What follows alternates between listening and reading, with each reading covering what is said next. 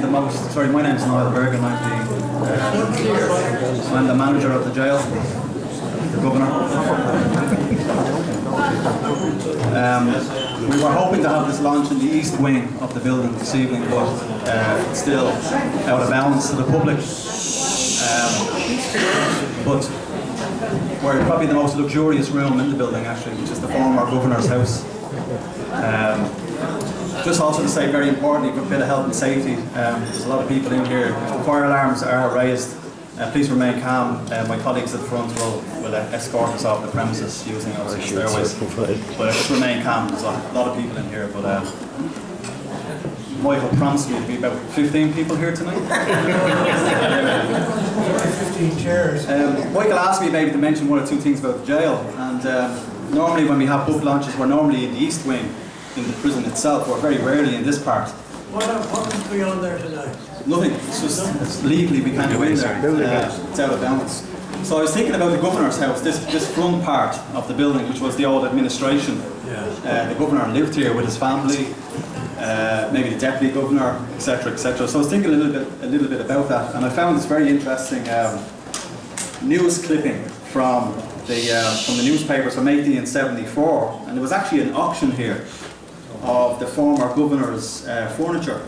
Uh, there's a man called Henry Price who was the governor from 1861 to 1873. Uh, he's one of the more interesting governors of the jail, mainly for me because he was here during the, Fe the, Fenian, the Fenian period, and that was obviously a very tense time in the jail.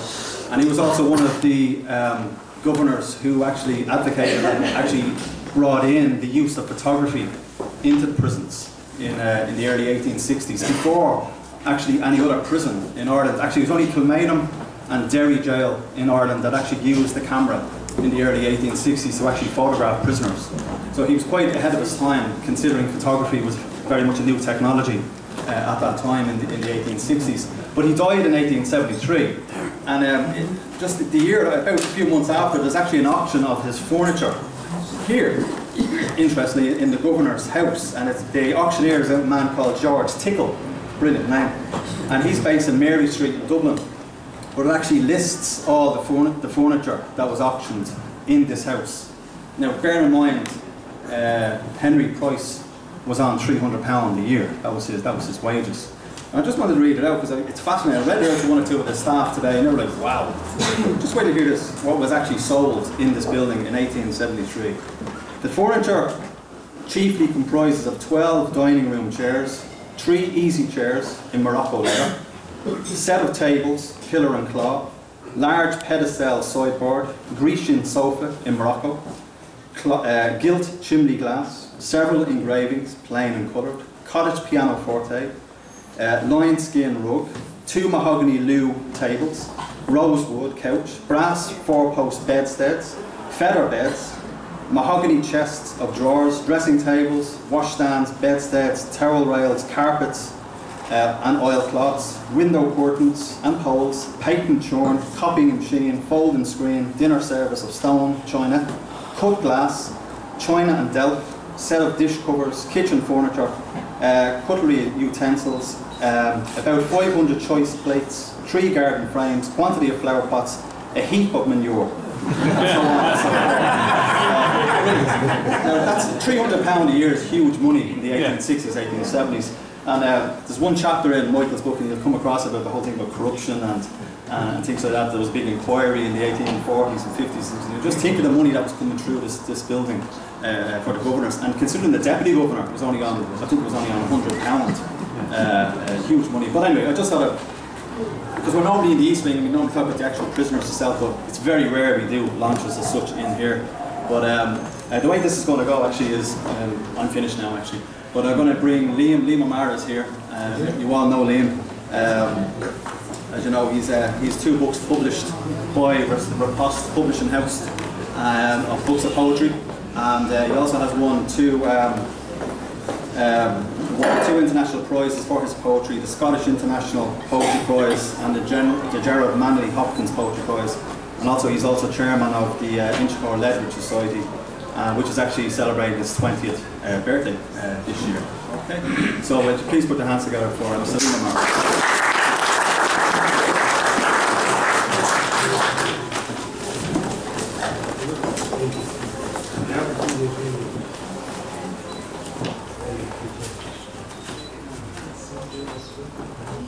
Thank you and welcome to the launch of the great book.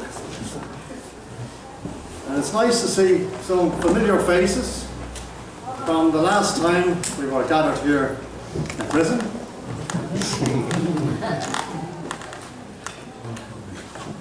I want to assure you all that you're shortly due for release.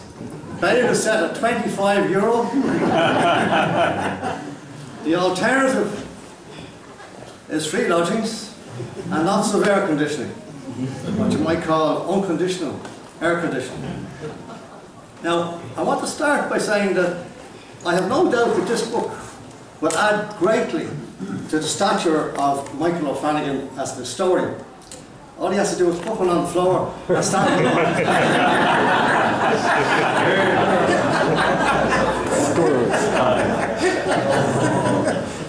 It's often said that this area is steeped in history, and um, especially the buildings where we are at present. But of course, the area is named after a saint, Saint Minon. Saint Minon had a following of 27 monks, a band of monks, and they came here in the 7th century. He was known, um, very well known, he was known from, from the Shannon to the Hill of Hope. And said to have even preached to Dermot, King of Ireland. He was known as a, a tower of piety. But Not everyone liked Saint Minon. A rival monk, uh, Saint Maelruain, um, thought of him as lazy because he wasn't too fond of manual labour. Now Minon had his confession, which was a, a big deal back then, and like a lot of uh, saints, he made a prophecy. And it's well worth reminding ourselves of his prophecy.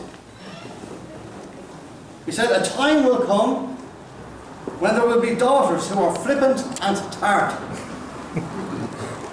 devoid of obedience to their mothers.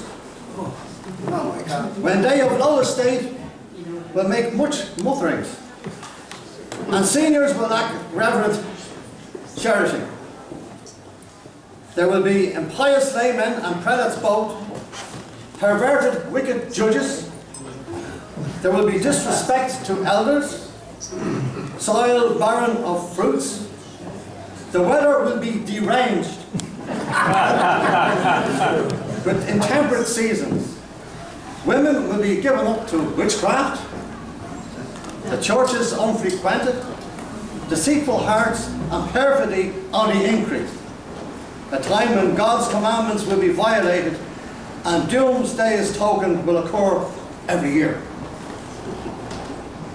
Well, I'm glad none of that ever came to pass. now, I wrote uh, a few notes here at home, um, not realising that we actually would have the two paintings with us tonight. Um, the one we have over here is actually Kilmainham in the 7th century, uh, painted by Michael from memory.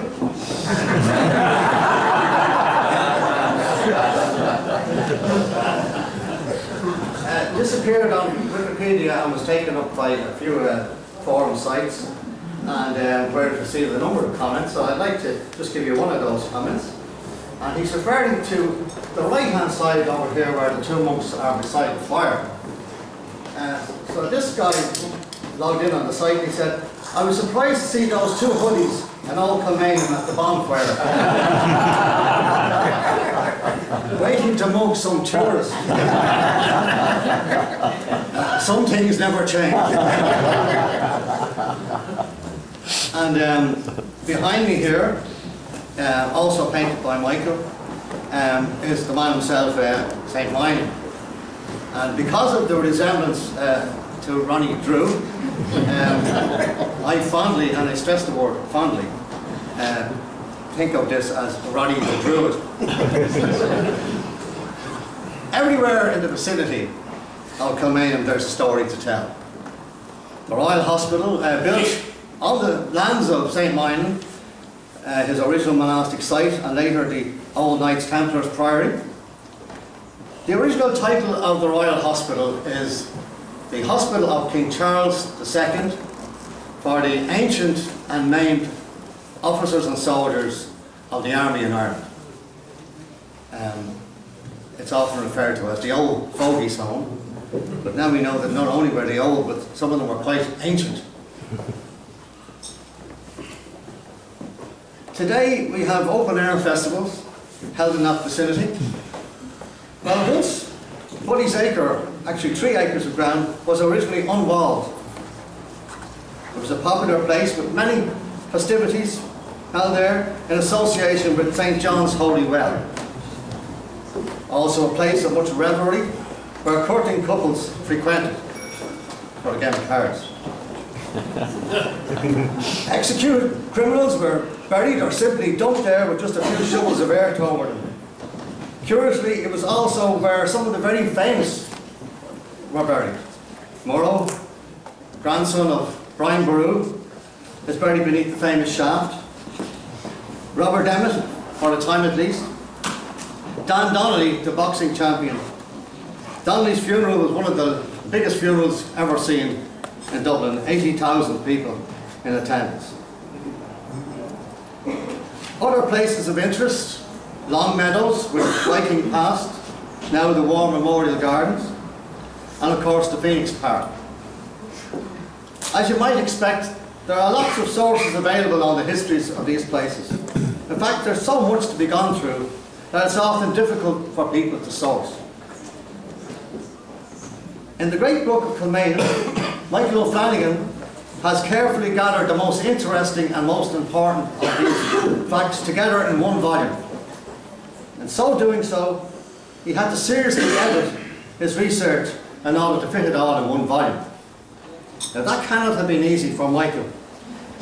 He was once accused of being overly inclusive in his work.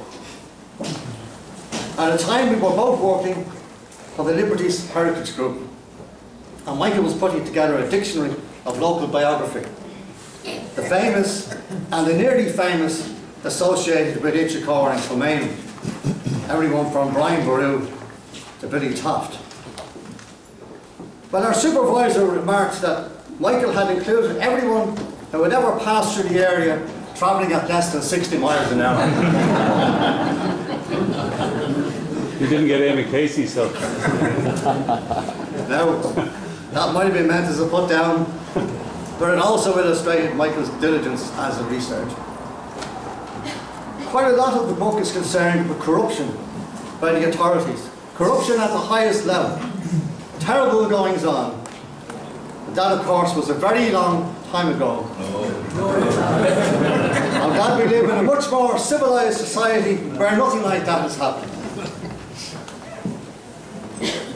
This is a book of facts, as in any book on history. We're not allowed to change or invent new facts. I often see books, The History of Ireland by so-and-so. It's as though the person is trying to claim ownership of the history of Ireland for himself. People have different approaches, different presentations. They might even draw their own conclusions and say, what if, if only. But they must stick to the facts. I know that Michael, in this regard, has chosen the words collated and curated. He's not claiming authorship. He's assimilated facts from a wide source of material and in so doing so has created a useful book of reference which I here recommend to you. Typically of Michael, this is not the little book of Kilmainham. It's not the big book of Kilmainham. It's the great book. And here to tell you more about it is the great man of Kilmainham, Michael O'Flanagan.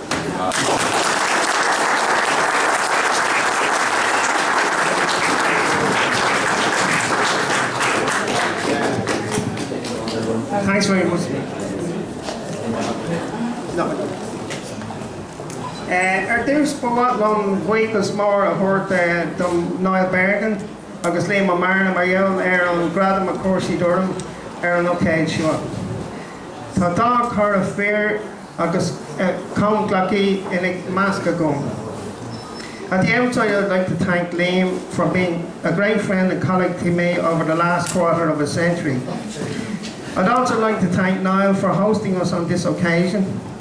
Since Niall took over here, the jail has seen a quadrupling of the number of visitors coming into this historic site.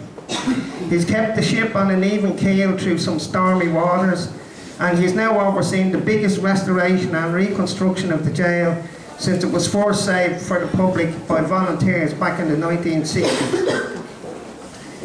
Now, I'm not going to give a lecture or talk on the history and heritage of the area. I would just like to draw your attention to the large number of others who have engaged in conserving and recording the history of this area over many years, including Joseph O'Brien, who's here at the, at the front, for his Inchicore, Kilmainham and District, Colm Kenny's Kilmainham, a settlement older than Dublin, Eithne Massey's Roger Outlaw, Liam O'Meara's History of Richmond Barracks, and also the books by Liz Gillis and six books by Paul O'Brien, including the history of the South Dublin Union, and the many books by Micheál Ó Doibhilín and his wonderful website, Kilmainham Tales.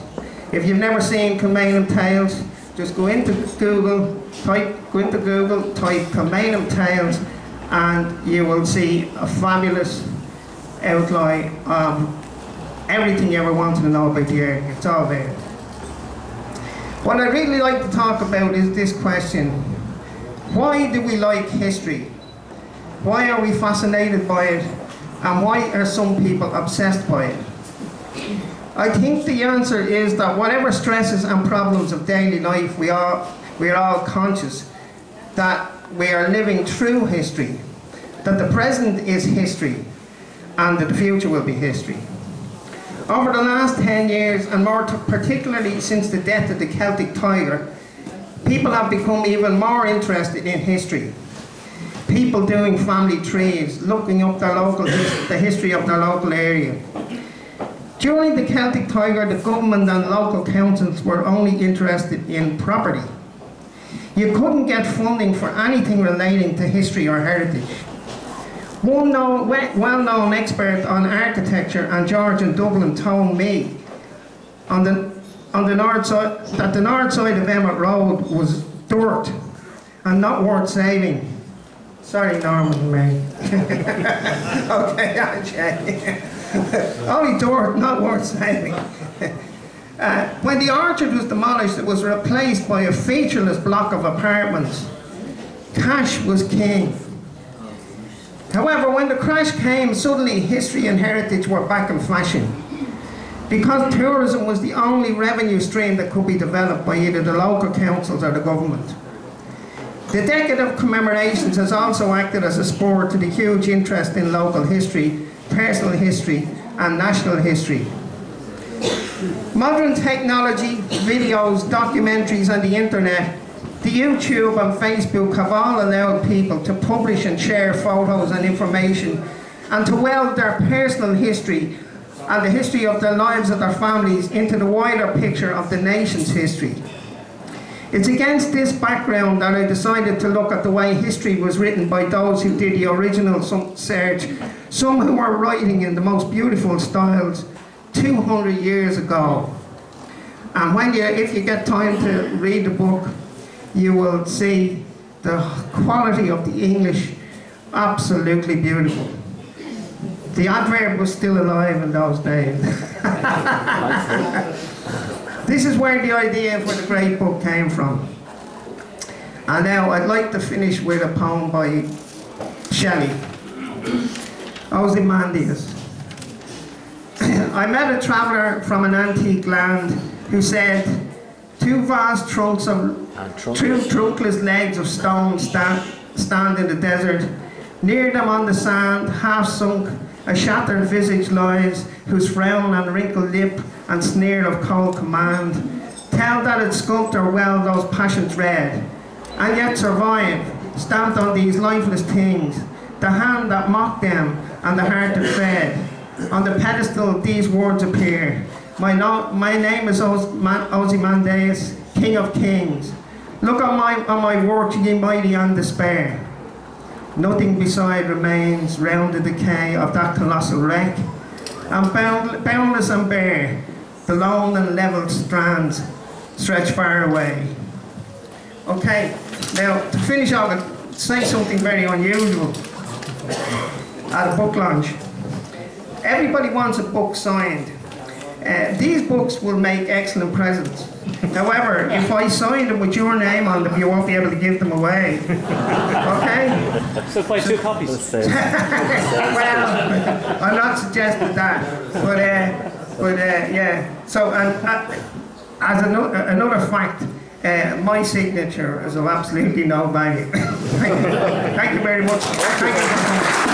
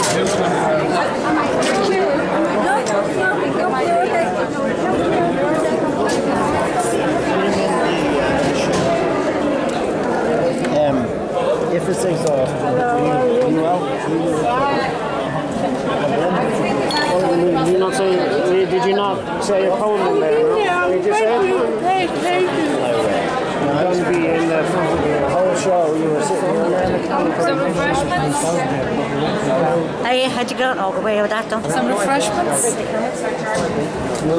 Sorry. Some refreshments. Yes, I'll have a. Working away here. Are you? Yes. Are you refreshing? I'm refreshing.